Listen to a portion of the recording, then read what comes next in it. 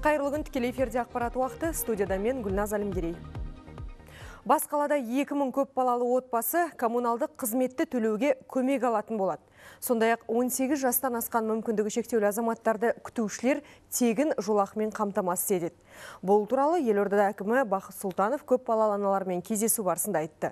Жүздесуге еңбек және халықты әлеуметтік қорғау министрі Бердібек Сапарбаев, білім және ғылым денсаулық сақтау вице-министрлері қатысты. Толығырақ Фариза Мұсағызы баяндайды. Кездесу қаладағы нөмірі 55-ші мектепте өтті. Залылық толы болды. Келген аналардың санында есеп болмады. Жалпы елордада 10 мыңнан астам көп балалы отбасы тұрады. Олардың 4688-і алтын алқа және күміс алқа иегері. 3,5 мыңға жоқ адам немесе 684 отбасы аз қамтылған.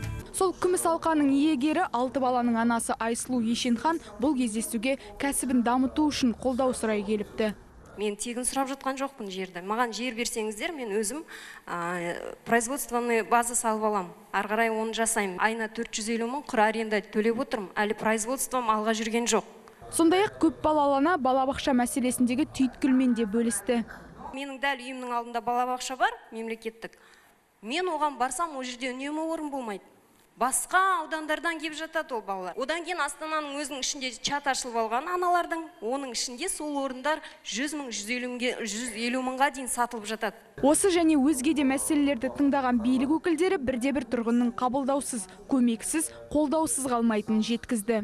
Спк ға сізді жаздырады да ары қарай мен өзім бақылауыма аламын басқарманың басшысы отыр.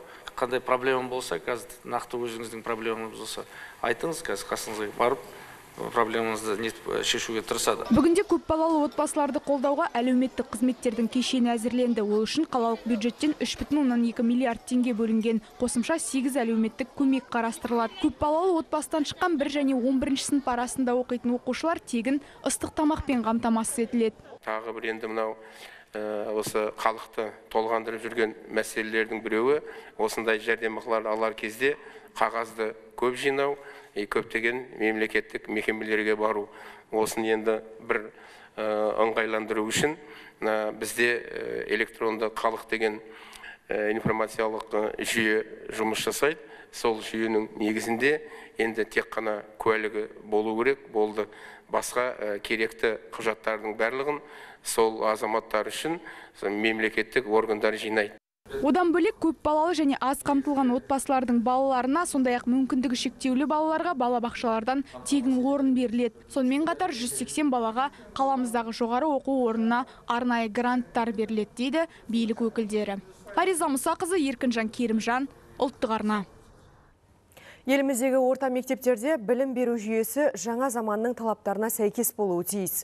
Бұл туралы Алматыда өткен жаңаша оқытуға жаңаша көзқарас атты алқалы жиында бас қосқан ұстаздар қауым айтты. Мұғалімдердің сөзінше, техниканың негіздерін мектеп қабырғасынан үйрену маңызды. Себебі қазір әлемнің озық мемлекеттерінде балаға сандық технологиялардың тілін білуге жастайынан тәрбиелейді. Осыған сай оқытушылардың да кәсіби деңгейін көтеру қажет біз ұстаз болғандықтан заман талабына сай болуымыз керек. Ол біздің басты міндетіміз. Не дегенмен біз адам капиталын тәрбиелеудеміз оларға білім берудеміз. Сондықтан заман талабына сай өзгерістерге қарай біз де сол балалармен бірге сол өзгерістермен бірге өсуіміз керек. Алматыда бірінші республикалық Абай атындағы Олимпиада өтті. Оған елдің барлық өңірінен келген үздік оқушылар қатысып бақ сынады. Әдебиет әлемі алыбының шығармаларын талдаған оқушылардың ең алдымен есте сақтау қабілетіне баға берілді. Сонымен қатар әңгіме жазуда сөз құрап, сөйлем тудыру шеберліктері де ескерілді. Жалпы бұл білімпаздар бәйгесі бұған дейін дарынды балаларға арналған Абай атындағы мектеп интернаты бойынша ғана өткен. Ал биыл ауқымы кеңейген шара алғаш рет республика көлемінде ұйымдастырылды. Сондықтан үш күнге созылған жарысқа 72 үміткер ниет білдірген. Оларға белгілі абайтанушылар қазылық етіп, қолдау көрсетті. Енді ұстаздар қауымы жеңімпаздарды басқа да деңгейі жоғары байқауларға қатыстыруды жоспарлап отыр екі кезеңнен тұрды бірінші кезеңде біз эссе жаздық абай туралы және екінші кезеңде сол абайға байланысты өзіміздің білімімізді көрсеттік абай атындағы олимпиада болғандықтан ол абай құнанбайұлының бізге қандай үлгі өнеге қалдырып кеткендігі жайлы сол өлеңдері қара сөздері Өскемен қаласында мектеп оқушылары ұлттық нақыштағы бұйымдар жасайды. Олар арнайы мектепте тігін ісін үйреніп қана қоймай, дизайн өнерінің қыр-сырын меңгеруде. Қазақтың ойы өрнегімен безендірілген жас тігіншілер қолынан шыққан киім үлгілері халықаралық байқауда да жоғары бағаланған. Балаларды шығармашылық арқылы ұлттық құндылықтарды бағалауға баулитын шеберхананы тілшіміз көріп қайтты. Кішкентай ісмер қыздар үшін заманауи сән мен ұлттық нақышты келістіріп тігін тігу еш қиын емес. Өйткені олар жастайынан ісмерлік өнердің қыр сырына қанығып өсіп келеді. Әрбір бұйымды ұлттық оюмен көмкеріп көз тартарлықтай әдемі етіп жасауға тырысады. Наурыз жақындап келе жатқандықтан бізге мұғалім осындай әдемі қапты тігуге ұсынды. Біз келістік. Бұл міне фетр материалынан жасалған әдемі қазақи оюлары бар қап. Және осы бұйым, бұйымның алдында біз ә, көп әдемі бұйымдар жасағанбыз. Мысалы 8 наурыздың алдында ә, аналарымызға ә, тігіп ә, косметика салатын сөмке жасағанбыз. Әр баланың өзінше қабілет қарымы бар. Бойдағы ерекшелікті тани білсе баланың дарыны ашылады. Әрі қарай дамытып жетілдірсе талантқа айналады дейді мұғалімдер. Әр адамның таланты неғұрлым ертерек ә, ашылғаны жақсы. Балалар ә, дизайн өнерін үйрену кезінде шығармашылық арқылы ұлттық құндылықтарға бағалауды үйренеді. Ә, себебі біздің жұмысымызда қазақы нақыштағы бұйымдар жасауға басымдық берілген. Бұл жерге келетін балалар киіз басу технологиясын да біледі. Қыз еркем кестесімен көркем деген қағида бойынша тәрбие алған жас шеберлердің жұмысы шетелдік байқауларда көрсетілген.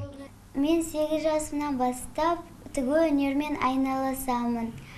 Былтыр біз көйлектерімізді тігіп парижда парижда көрсетіп бірінші орын алғанбыз. Маған да өнер қатты ұнайды соның ішінде киізден бұйымдар жасау бұйымдар жасау өнері. Ол біздің қазақтан келе жатқан дәстүріміз және де өнеріміз. Қыз баланың бойында эстетикалық мәдениетті шығармашылық қасиетті дамытуға арналған мектепте арнайы оқыту бағдарламасы да бар. Бұл жерде ешқашан лекция болмайды. Қазақы оюмен безендіруді ұлттық нақыштап киім тігудің барлығын балалар іс жүзінде меңгереді. Шығыс қазақстаннан берік көшербай нұржан қалекенов қазақстан ұлттық телеарнасы.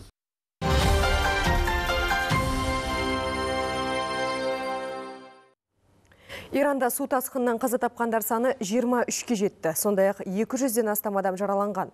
Бір апта бойы жауған нөсерден үлкен өзендер арнасынан тасып, елде төтенше жағдай жарияланған еді. Тасқын су үйлерді қиратып, жолдарды шайып кетті. Сонымен қатар 10 мыңға жуық тұрғын қауіпсіз жерге көшірілді. Ел астанасына апаратын шығыс тас жол жабылып, Тегеранға да тасқын қаупі төніп тұр. Ал президент Хасан Рухани зардап шеккендердің барлығына қаржылай көмек көрсетілетінін айтып, құтқару операцияларына армияны көмекке шақырды. Венесуэлада осы айда екінші рет электр жарығы өшірілді. Ірі гидроэлектр станцияларындағы апаттан кейін Венесуэланың энергия жүйесіне кезекті ірі шабуыл жасалған. Бұл туралы республиканың байланыс және ақпарат министрлігі хабарлады. Штаттардың жартысынан көбінде жұмыс тоқтап, тағы бір демалыс күні жарияланды. Талай кәсіпорын мен мектеп жабылып, мұнай экспорты тоқтаған.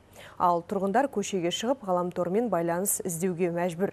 Сондай-ақ ел астанасы Каракастағы метро тоқтады. Қазір президент Николас Мадуроның басшылығымен электр энергиясын қалпына келтіру жұмыстары жүргізіліп жатыр. Жарықтың қашан қосылатыны әзірге белгісіз. Еуропа одағы жазғы уақытқа міндетті түрде көшуден бас тартты. Бұл туралы құжатты Еуропарламенттің 410 депутаты қолдап дауыс берсе, 192-сі оған қарсылық білдірген. Демек, 2021 жылы сәуірден бастап, аймақтың әрбір елі сағат тілін көктемде бір сағат алға жылжыту немесе күзде артқа қою мәселесін өзі шешеді.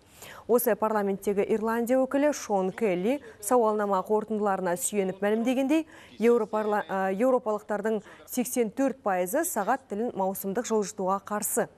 Одақ мемлекеттері уақытты жылжыту тәжірибесіне 2001 жылы ішкі нарықтың жұмысын жақсартып, электр энергиясына шығынды азайту мақсатында көшті. Алайда шын мәнінде пайда шамал болып шықты. Ал ғылыми зерттеулерге қарағанда уақыттың ауысуы адамдардың денсаулығына жағымсыз әсер етеді.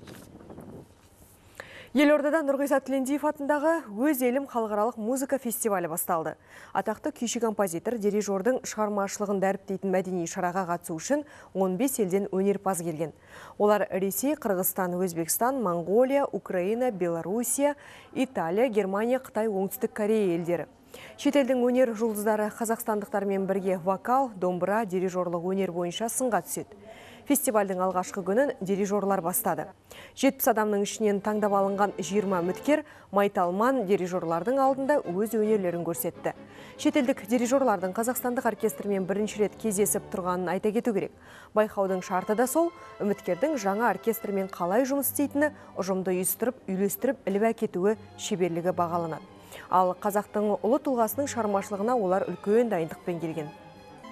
Тілендиевтің шығармасын алғаннан кейін жай ғана дирижерламайды олар оның өмірбаянын зерттейді егер шығарманы түсіну керек оркестрге түсіндіру керек өзі сезіну керек сол себепті оның өмірбаянын жазған шығармаларын тарихи қызықтарын жаңағы қандай оқиғалар болды өмірінде қандай кезеңдері болды тілендиевтің соның бәрін дирижерлар шетелдің дирижерлары қазір зерттеп келіп отыр Әзірге айтарымыз осы, енді сағат 5-те жаңалық күтіңіздер.